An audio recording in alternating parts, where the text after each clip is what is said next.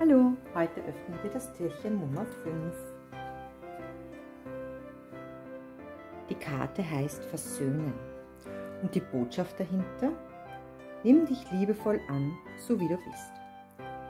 Auf der Karte zu sehen, die beiden schlangenähnlichen Gestalten im Vordergrund blicken in dieselbe Richtung. Oder sind sie sich uneins und möchten die eine oder andere um Versöhnung bitten? Dahinter ein rotes Herz. Fragen, die du dir stellen kannst? Auf wen bist du derzeit nicht gut zu sprechen, unversöhnlich? Vielleicht könnt ihr euch aus dem Ganzen nochmal herausschlängeln. Ist Versöhnung möglich, um endgültig loszulassen? Oder bringt euch das Herz wieder auf eine gemeinsame Wellenlänge? Lebst du versöhnt mit dir und deiner Vergangenheit? Öffne dein Herz für eine Versöhnung mit dir. Es hatte wohl alles seinen Sinn.